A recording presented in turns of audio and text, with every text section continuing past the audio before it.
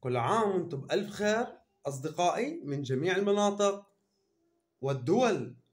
سنقرأ لشهر خمسة مايو أيار عام 2024 سنقرأ للبرج اللي ما بيساوم على رأيه ودائما مصر إنه يحقق أهدافه وطموحاته التي يسبو إليها.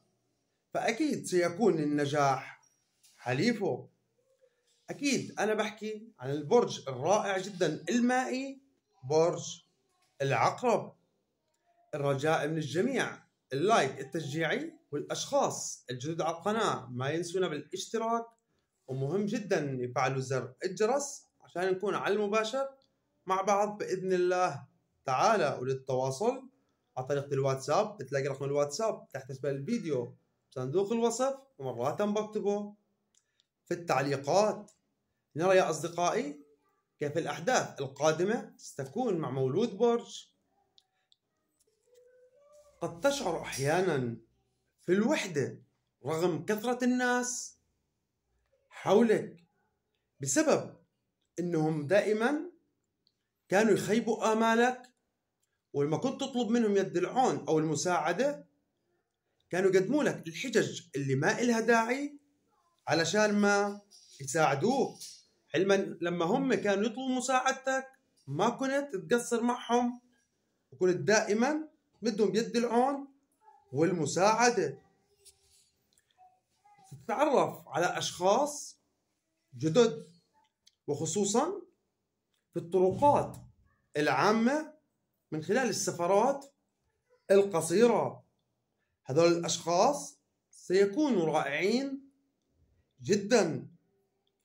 سيكون الحب المتبادل بيناتكم كصداقة.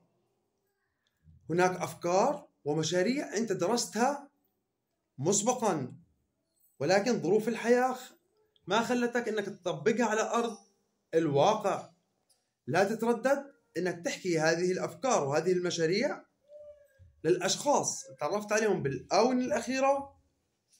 لما سينعجبوا بهذه الأفكار وهذه المشاريع وسيقدموا لك الدعم الكافي أو اقترحوا عليك إنهم يكونوا معك شراكات تعود لك وإلهم بالنفع وبالدخل المادي الجيد.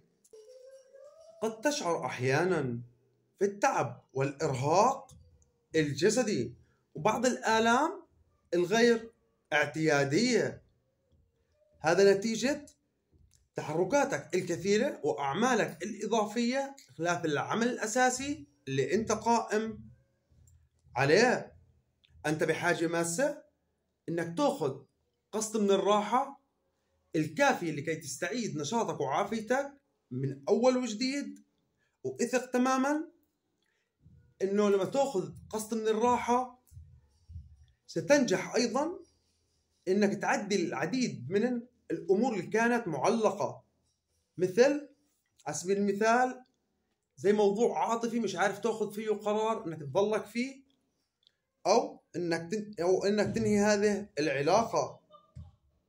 هذه الطاقة راح تخليك تأخذ القرار الصحيح اللي بدفع اللي بدفع بمصلحتك إلى الأمام. في الأمور السفر. الحظ يبتسم لك يا مولود برج العقرب. قد تحظى ببعض الفرص الاستثنائية كعقود مع شركات أو أشياء من هذا القبيل. سيكون أغلبها مدلة من الأشخاص اللي تعرفت عليهم بالآونة الأخيرة من مواقع التواصل. اعلم يا مولود برج العقرب إن هالفرصة عبارة عن وقت قصير يا بتلحقها يا راحت عليك. فيجب إنك تدرسها بشكل سريع جدا وتغتنم الفرصة اللي أمامك لكي تدفع بمصالحك إلى الأمام. أما العازبون أو المنفصلون سيحظوا ببعض الفرص الرائعة جدا في التعرف على أشخاص سيرتاحوا لصحبتهم. تتعرف على هذول الأشخاص الأغلب من مواقع التواصل. تتبادلوا الرسائل الرائعة جدا المليئة في الكلمات الحب وأيضا تشعر أنه هذا الشخص هو نصفك الثاني وممكن توأمك الشعلة. وإن شاء الله يكون نهاية هذه العلاقة الجديدة الزواج الصالح. بس من بداية هذه العلاقة يا مولود برج العقرب إنك تحط النقاط على الحروف. يعني كيف النقاط على الحروف؟ إنك تحكي هذه العلاقة على أنو أساس ستبدأ وتحدد موعد الارتباط أو الزواج. وألف ألف مبروك بحالفكم الحظ من مواليد برج العقرب. أما الأشخاص اللي عندهم شريك حياة مستقبلي كيف يعني شريك حياة مستقبلي؟ يعني بكون في شخص متفق معه على الزواج إن شاء الله في القريب العاجل وليس الآجل.